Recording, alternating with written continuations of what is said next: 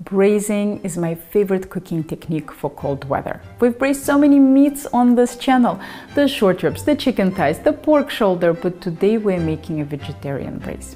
We are braising cabbage. As any braise, it has three basic steps sear, sweat, and simmer.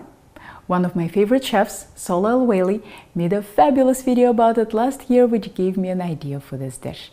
Sure, I've braised veggies before, but as a side dish, not the star of the show. But Sohla's idea put the cabbage front and center, which was brilliant. This dish lends itself to infinite variations. Sohla did it with cashew milk, I've done it with porcini and sour cream sauce, but today I really want to strip this technique down to its essential elements. I want to minimize the ingredients and the prep and keep it completely plant-based and easy because that's what we often need in a weekday meal. Let's start with the cabbage. I like to use a relatively small head for this dish so that I can fit it all into my pan. Surface moisture prevents browning, so I don't like washing the cabbage for the dishes that require browning. Even if you dry the outside of the cabbage, water will get trapped between the leaves. If the outer leaves are really dirty or bruised, just remove them. Cut the cabbage in half and then cut it into wedges. If I cut my cabbage into 8 wedges, I'll expose more surface area to browning. But if my pan was smaller or my cabbage bigger, I might only do 6 wedges or even 4. You'll have to use your best judgment here.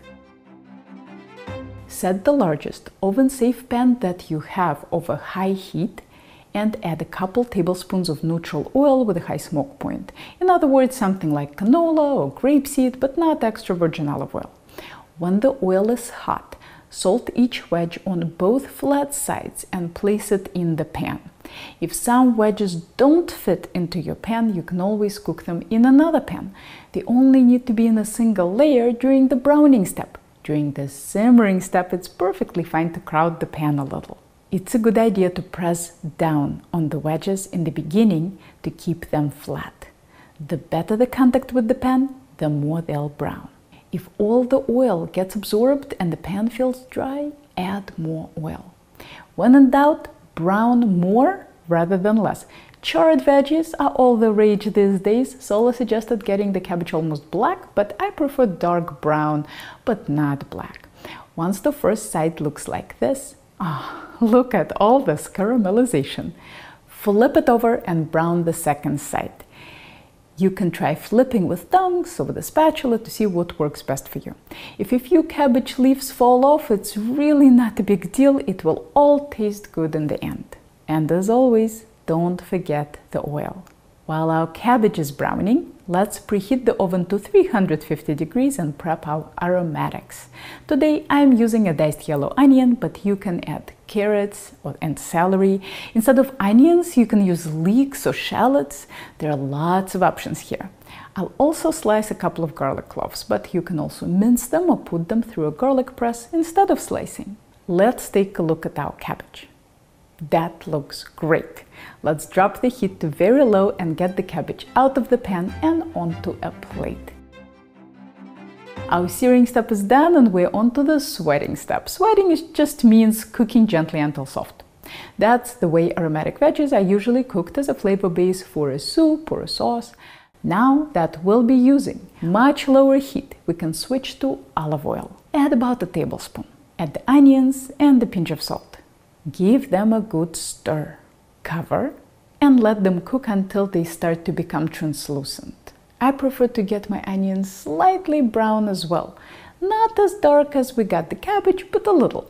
After the first 5 minutes, I uncover the pan to help them brown and to make it easier to see what's happening. Covering in the beginning is completely optional, I just find that it speeds things up a little. Add the garlic, another pinch of salt, and cook just until aromatic. Then add some boxed or canned chopped tomatoes and a cup of dry white wine. The measurements are completely flexible here. Since my tomatoes are completely unsalted, I'll give them a pinch. But if yours is salt salted, make sure you taste before adding more salt. Bring it all to a simmer and add the cabbage wedges to the sauce. I like to fan them out and it's okay to make them overlap a little to make them fit.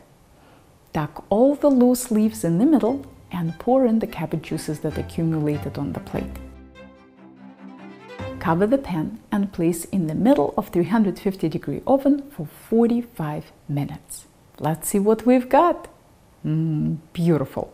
Let's crank up the oven to 450 degrees for the final step. To turn this cabbage into a full meal, I'll add some cooked cannellini beans between the wedges. I'll link to the instructions on cooking the beans in the description below, but you can always use drained canned beans. If you cook the beans yourself, add some of the cooking liquid so that the beans are almost covered. I actually forgot to do this in the video, but don't be like me. if you're using canned beans, add a little water or veggie stock or chicken stock Drizzle everything with a generous amount of olive oil. Place the pan into 450 degree oven and uncovered to get the beans to warm up and the tops of the cabbage to crisp up a bit. This will take about 20 minutes, but it's good to keep an eye on it. And we are done! This is a really hearty and comforting dish. The cabbage turns out butter soft and so sweet. I find that it's sometimes necessary to adjust the salt in the end. We salted the outside of the cabbage, but until it's all done, it's very hard to salt the inside, so you might want to put some salt on the table and have everyone season to their taste.